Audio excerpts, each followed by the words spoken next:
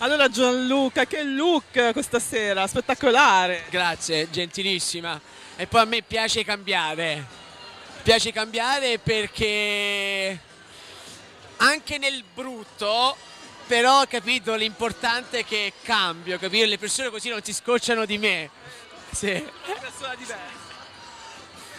Senti, allora, questo grande fratello per te eh, che esperienza è stata? Guarda, il- questo grande fratello per me è stata una delle esperienze più belle, più belle perché veramente ho conosciuto il vero Gianluca, veramente è stata una grandissima esperienza, lo rifarei. E chi è il vero Gianluca? Com'è il vero Gianluca?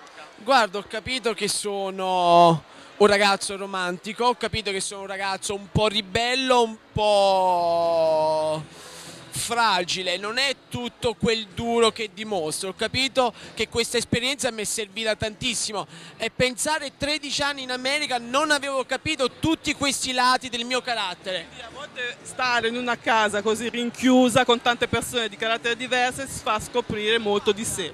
Allora, io nella vita mi metto, mi sono sempre messo in gioco, però adesso non mi sono mai messo in gioco con i sentimenti, con, con le emozioni, eh, 20 persone chiuse in una casa.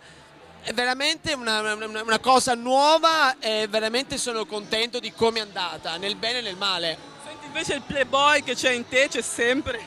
Guarda, se prendete adesso il giornale di Visto, vi presento la mia nuova ragazza. E- È casato. No, dal macio sono passata al mocio, no al micio, al mocio. E allora dico, è anche giusto che arrivi la mia... Mamma, ormai sei contenta. Ah, deve arrivare anche quel periodo lì, dai via, se no la... No, veramente mi trovo, mi trovo molto bene.